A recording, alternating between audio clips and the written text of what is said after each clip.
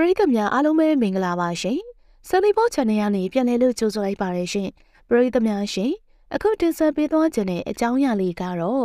မိသားစုနဲ့အတူအပန်းဖြေခရီးလေးထွက်ဖြစ်တဲ့ပုံလေးတွေကိုဝေမျှလာတဲ့ညီနန္ဒအကြောင်းလေးပဲဖြစ်ပါရဲ့ရှင်။နှစ်ပေါင်းများစွာတိုင်ပရိသတ်အားပေးမှုရရှိထားတဲ့ဝိုင်းရဲတရုပ်ဆောင်မင်းသားကတော့ညီနန္ဒပဲဖြစ်ပါရဲ့။ဗီဒီယိုဇာတ်ကားများရုပ်ရှင်ကားများနဲ့ အနုပညာလောကထဲကိုစတင်ဝင်ရောက်လာခဲ့တာဖြစ်ပြီးပရိသတ်တွေရဲ့ရှင်ထဲမှာ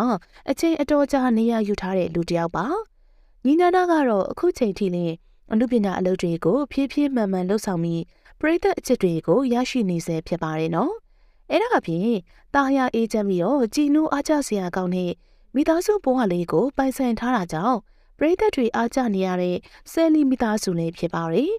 သူ့ရဲ့လှုပ်ရှားမှုလေးတွေကိုလည်းပရိသတ်တွေနဲ့အဆက်အသွယ်မပြတ်ရအောင်အမြဲဖော်ပြပေးနေရှိတာကိုလည်းတွေ့ရပါတယ်။အခုတစ်ခါမှလည်းမိသားစုနဲ့အတူတူအပန်းဖြေခီးလေးထွက်ပြတဲ့ပုံလေးတွေကိုအမတ်တရဝေးမျှလာရမှာပရိသတ်ကြီးလည်းကြည့်ရှုနိုင်စေဖို့အတွက်အပြည့်လဲပြီးတော့ဝေးမျှပေးလိုက်ပါတယ်နော်။ပရိသတ်များရှင်ပရိသတ်တွေအားလုံးကအနုပညာသတင်းလေးတွေကိုပပပပလေးကြည့်ကြနေဆိုရင်တော့ကျမတို့ရဲ့ Saliport Channel လေးကို Subscribe လေးနှိပ်ခဲ့ပေးလို့ရှားပါတယ်နော်။ အားလုံးနဲ့နောက်တစ်ခေါက်ဗီဒီယိုလေးမှာပြန်လည်ပြီးတော့ဆုံတွေ့ကြပါရစေရှင်။